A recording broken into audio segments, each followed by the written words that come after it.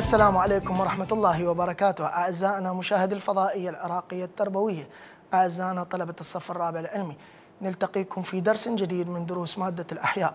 بالنسبة إلى الفصل الثالث الدورات الكيميائية الأرضية الأحيائية.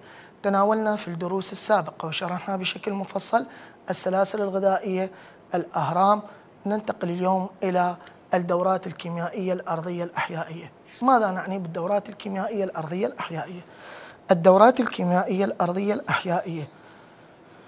تعد حركة العناصر الرئيسة وانتقالها. العناصر الرئيسة تشمل الكربون، الهيدروجين، الأكسجين، النيتروجين، الفسفور والكبريت. بالإضافة إلى الماء انتقال هذه العناصر بين المكونات الحية وغير الحية للنظام البيئي من الأمور المهمة التي تؤدي إلى معرفة ذلك النظام. إذ أن انتقال هذه العناصر من حالة لا عضوية إلى حالة عضوية وبالعكس يؤدي إلى الاختلاف والتباين بين أنواع الكائنات الحية وأعدادها من منطقة إلى أخرى على وفق سرعة الانتقال أو التحويل في هذه العناصر. ليش؟ علل وذلك لأن هذه العناصر تشارك في بنية الخلية الحية ومن ثم في بنية الكائن الحي. ننتقل أعزائي الطلبة إلى تعريف دورة العناصر البايو جيوكيميائية وهي دورة العناصر المختلفة بين الكائن الحي ومحيطه ثم رجوعها مرة أخرى إلى الكائن الحي. إن العلاقة بين الكائن الحي والمحيط الذي يعيش فيه مع كائنات حية أخرى ومكونات غير أحيائية هي علاقة معقدة جدا. وتفهم هذه العلاقة بين العناصر الأساسية جميعها والكائنات الحية تكون القاعدة المتينة التي يستند إليها إدراك المفاهيم الأساسية لتشعبات علم البيئة. إذا عزيزي الطالب من أهم إدراك علم البيئة أو من أهم مدركات علم البيئة هو فهم العلاقة التي تكون بين العناصر التي تكون جسم الكائن الحي انتقال هذه العناصر من جسم الكائن الحي إلى البيئة ثم عودتها مرة أخرى إلى جسم الكائن الحي. بشكل عام توضح دورات العناصر الانسياب الدوري لهذه العناصر من المحيط اللا أحيائي إلى داخل الكائن الحي ضمن الفعاليات الحيوية. ثم عودتها إلى المحيط اللا أحيائي مرة أخرى عن طريق فعاليات الاحتراق أولا الأكسدة ثانيا ثالثا التحلل في هذه الكائنات الحية. فيما يأتي إيجاز لبعض الدورات في الطبيعة. ننتقل عزيزي الطالب إلى أول دورة من دورات العناصر في الطبيعة. أول دورة هي دورة الماء في الطبيعة. صيغ الحياة تعتمد جميعها على الماء. علل ذلك. لأن الماء يشكل النسبة الأعلى في بنية الكائن الحي. تتراوح هذه النسبة بين 60 إلى 90% ممكن يجينا فراغ النسبة أو نسبة الماء في أجسام الكائنات الحية. من الوزن الطري لمعظم الأحياء بصورة عامة. نادرا ما تنخفض هذه النسبة كما هو الحال في بذور النباتات الجافة لكي تصل إلى حوالي 10% من الوزن الطري. ترتفع النسبة لتصل إلى ما يزيد عن 90% كما في كائنات أخرى مثل نبات الخيار الرقي وبعض قناديل البحر. مياه البحار والمحيطات تشكل حوالي أكثر من 70% من المساحة الكلية للكرة الأرضية.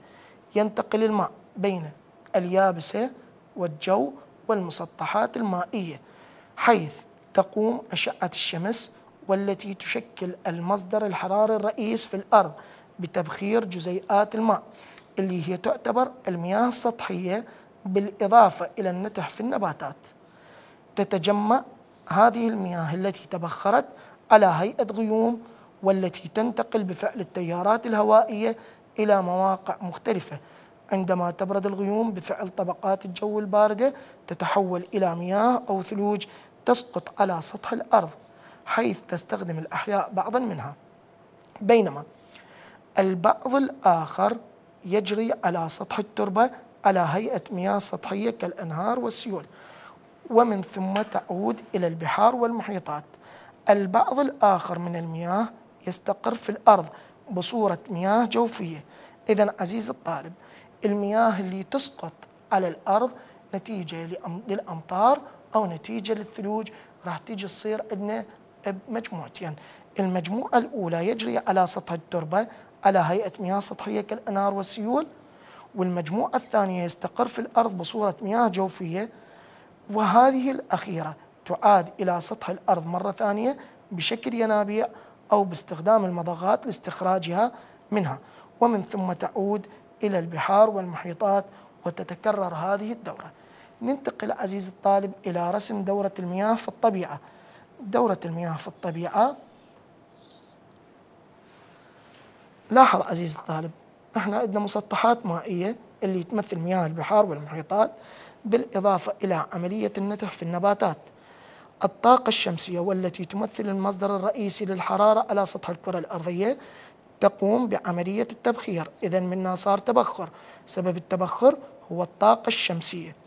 تحولت المياه تحول المياه العفو من الحالة السائلة إلى الحالة الغازية واللي يكون بشكل غيوم.